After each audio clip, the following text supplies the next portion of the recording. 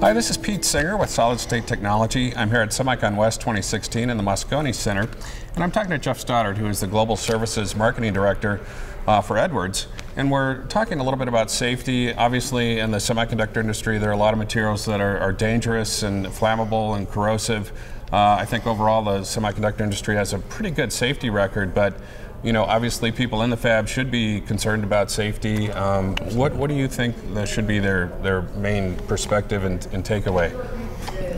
Well, Pete, nice to meet you. Um, safety is you know, a fundamental cornerstone of what we believe in in Edwards and the way that we operate, the way that we train our people, the way that we um, have safety as one of our key pillars of our culture. We have a phrase in Edwards that safety is 100% of our behaviour, 100% of the time. It's not just when you come to work, it's when you go home, it's coming to work, it's thinking about your colleagues, it's thinking about our customers. So, yes, we, we believe in safety very much in Edwards. Okay, very good.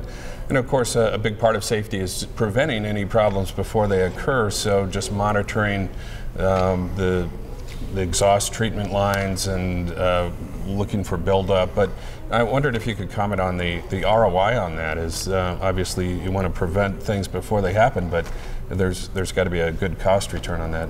Well, I mean, you only need to think about the consequences of what happens if you don't do it.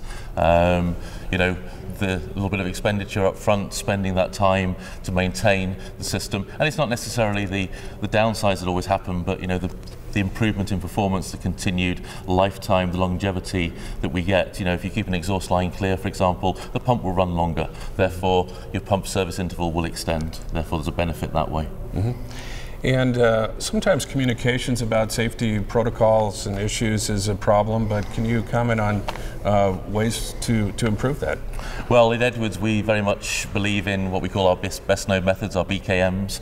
We have those that we share internally between our applications, our technical, our service, and our sales team. So from the point of sale through to the point of installation, through to maintenance, we maintain systems that we notify people. And then, of course, we're raising awareness. You know, you know, we put an article in this month's Solid State Technology about managing safety in the subfab. So we're trying to raise the general awareness in the industry through such publications as yours, but as well as internally, we keep that dialogue going so that our teams know when we have an issue or we experience something, we broadcast that around the Edwards organisation quickly and update our best known methods to conclude, it can be a little challenging to convince process engineers to think about safety uh, as, uh, as their primary concern rather than an afterthought. And what, what are your recommendations to them to uh, keep safety at the, at the forefront of their mind?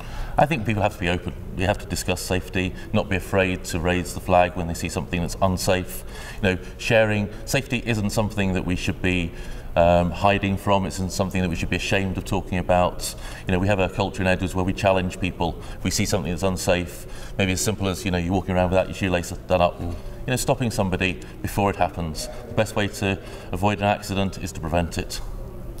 Okay, Jeff, well, thank you, and I hope you're all safe out there. Thank you.